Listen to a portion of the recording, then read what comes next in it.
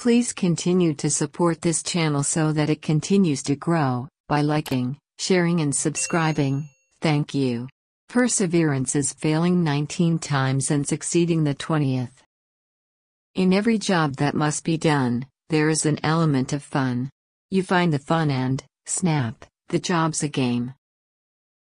Feed the body food and drink, it will survive today. Feed the soul art and music, it will live forever. Use your knowledge, and your heart, to stand up for those who can't stand, speak for those who can't speak, be a beacon of light for those whose lives have become dark. Leave everything you do, every place you go, everything you touch a little better for your having been there.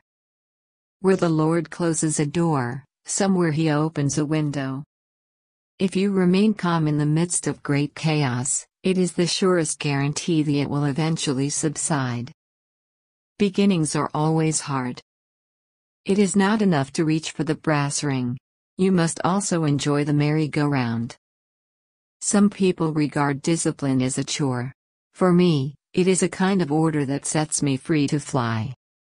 Sometimes opportunities float right past your nose.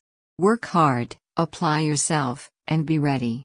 When an opportunity comes, you can grab it.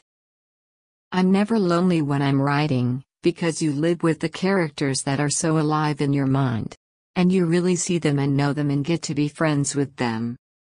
I've never minded being disciplined. I'd always rather have a quiet evening and then go to a wild party. Discipline for me has always been the foundation which leaves me free to fly. After all, children are children no matter their background. If you're passionate about what you do, then go for it wholeheartedly. Be prepared that if any time, you may be surprised by a phenomenal opportunity that may come your way, and that's when I say, do your homework. Be ready. Have you noticed how nobody ever looks up? Nobody looks at chimneys, or trees against the sky, or the tops of buildings. Everybody just looks down at the pavement or their shoes. The whole world could pass them by and most people wouldn't notice.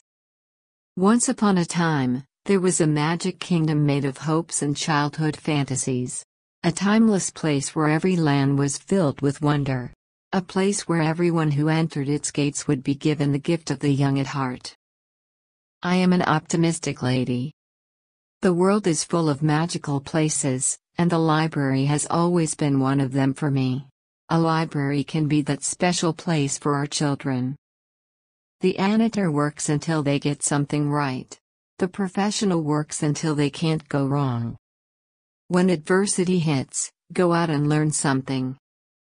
A library takes the gift of reading one step further by offering personalized learning opportunities second to none, a powerful antidote to the isolation of the web.